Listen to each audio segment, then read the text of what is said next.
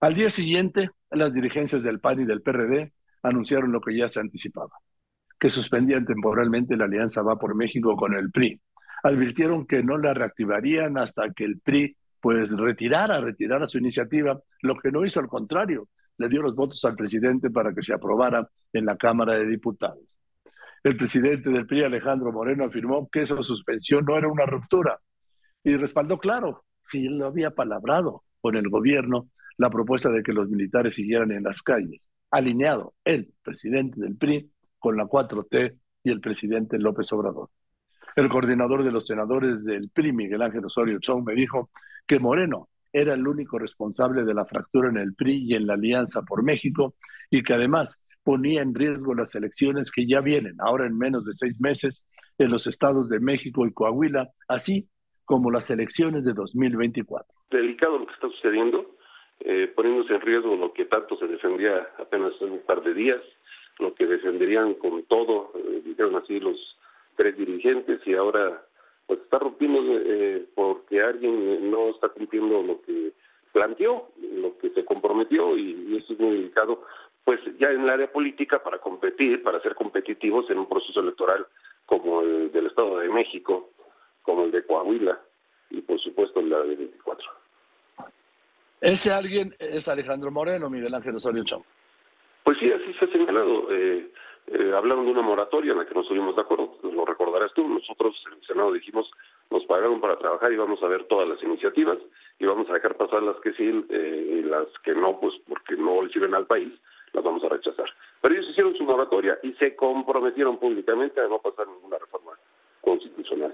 Eh, dijeron que no iban a dejar que se toca, que las fuerzas eh, militares siguieran eh, ahí en la Guardia Nacional, se comprometieron con la de y otras cosas. Bueno, pues ya está habiendo pues cambio de dirección. Hoy oí un discurso a las 10 de la mañana en la que se dijo que es por el bien de los ciudadanos, más allá de si es o no, el tema es pues que yo escuché otra cosa hace un par de semanas, diferente completamente, y que ahora pues resulta un discurso eh, 360 grados diferentes. Sobre esto, el dirigente nacional del PRD, Jesús Zambrano, acusó aquí al presidente López Obrador de buscar destruir la alianza a través del presidente del PRI, Alejandro Moreno. Pues yo nada más quiero confirmar contigo lo que he dicho una y otra vez, que la oposición en México es la que va a ser presidente de la República a quien eh, Andrés Manuel López Obrador apunte como su candidato presidencial. Por si quedara alguna duda, ya está. La fractura dentro del PRI y además la suspensión temporal, dicen, ¿no? De la alianza opositora. Y todo promovido por Alejandro Moreno. No sé qué está salvando. ¿Qué estará salvando Alejandro Moreno, Jesús? Pues eh, habrá que preguntárselo a él, eh, Joaquín.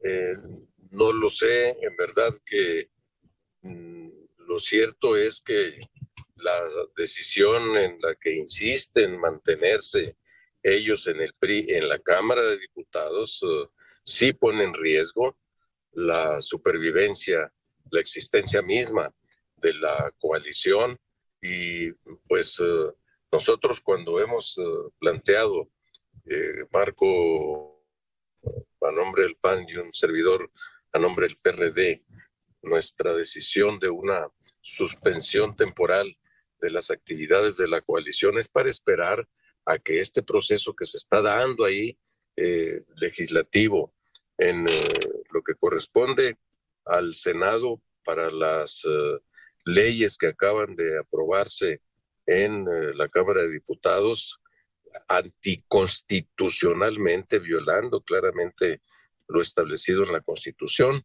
Vamos a ver qué es lo que va a suceder allí en el Senado en lo que se refiere a eso. Como son leyes, mañosamente lo metieron como reformas legales, pues solo se requiere mayoría que la tiene sola Morena y sus aliados. Pero en lo que ha motivado toda esta situación de inconformidad y que ha metido a la coalición en una situación delicada, pues es el quinto transitorio de la Constitución. Y, y entonces ahí sí se requiere mayoría calificada para hacer una reforma.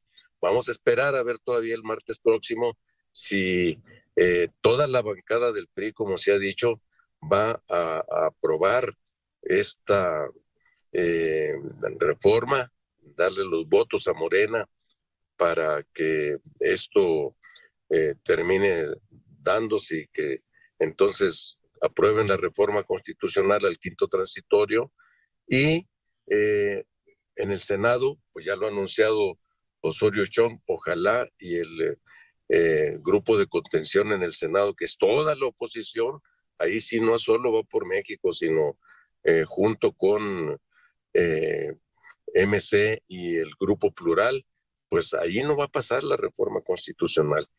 Pero el PRI, obviamente, bueno, el PRI no, Alejandro Moreno nunca retiró la iniciativa que finalmente se aprobó y va a ver todo lo que provocó. Regresando, le cuento.